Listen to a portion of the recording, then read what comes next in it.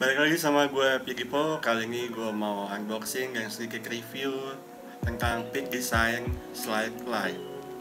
Jadi ini strap untuk kamera mirrorless yang kecil-kecil.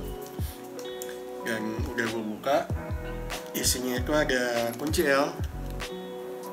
Ada kunci L untuk mengencangkan bagian bawah yang nanti dipasang di bawah kamera eh jatuh lu terus ada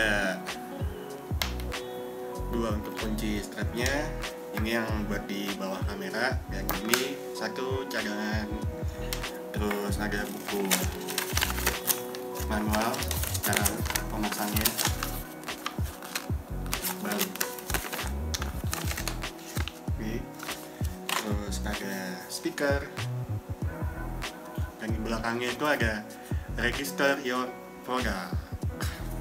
Di sini ada pemberitahuan kalau kuning uh, ininya uh, bahan ininya kalau udah kuning itu harus diganti. Apalagi kalau udah ngelupas sampai merah itu bahaya bisa putus. Sutup oke langsung aja kita pasang di kamera ini gue pakai mirrorless mirrorlessan Sony Sonyan cara pakainya seperti ini. Jadi ini ada tempat strapnya. Dan kita pasang.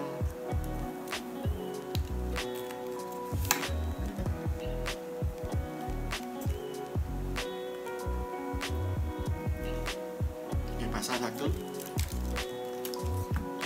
Kemudian sisi sebelahnya.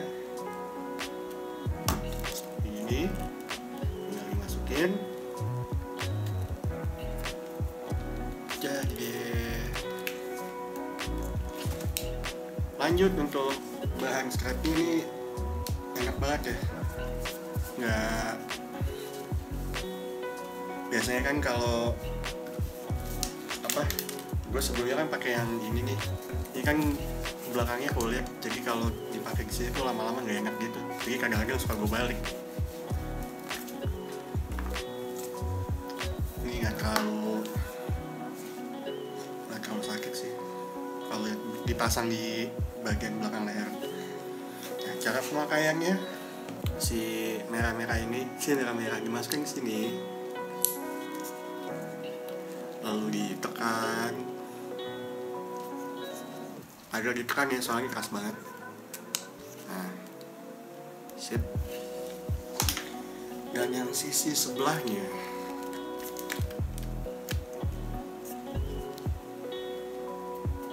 Juga sama prinsipnya. Dimasukkan di sini. Agak ditekan. Yep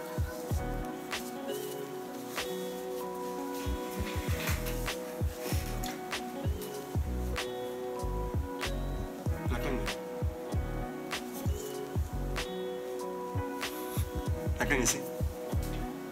Nah, ini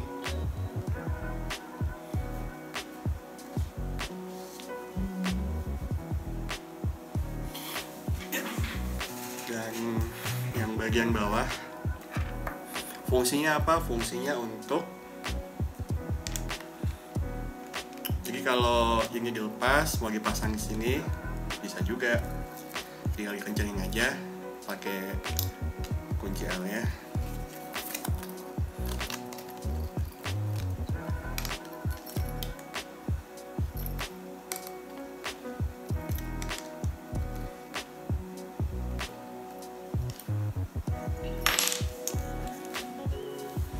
terus kalau misalkan agak terlalu kepanjangan ini bisa dibuka. Nah bisa langsung tarik biar agak pendek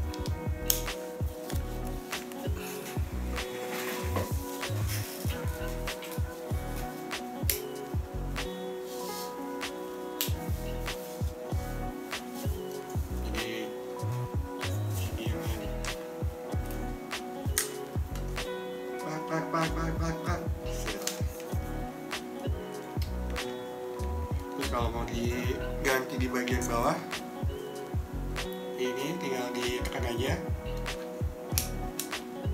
Terus diganti bagian bawah.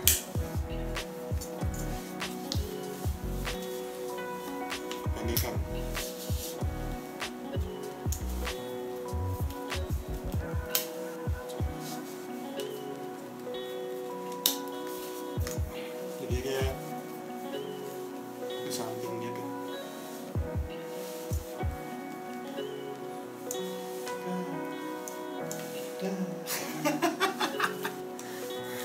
Jadi ya segitu aja dulu unboxing dan sedikit review dari Peak Design slide light strap untuk kamera mirrorless dan tidak terlalu berat. Sampai ketemu di video selanjutnya. A few moments later. Jadi kan gue gue dulu ini ya kayak anak band itu zaman SMA main gitar nih.